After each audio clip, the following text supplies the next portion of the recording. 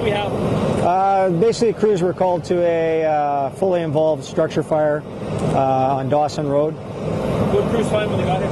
Uh, when crews arrived, they had about a 30 by 80 foot barn fully involved. What was in the barn? do you know? Uh, this time, I'm not sure of what was in the barn, uh, other than it was fully involved. Back half of the barn was on the ground. What kind of challenges do you guys have trying to fight this thing? Uh, up in the Dawson Mountain area region, we uh, don't have any hydrants here, so we do a tender shuttle. So water is usually a, a tough go up here. And uh, how many crews you got on scene? Uh, on scene right now, we probably have about 30 firefighters, uh, about seven units. And what's going to happen now? Uh, we're just in an overhaul stage. We're trying to knock the hot spots, the last little bits of it out. Any idea what caused it? At this time, we don't have a cause, so investigators will be coming up at some point.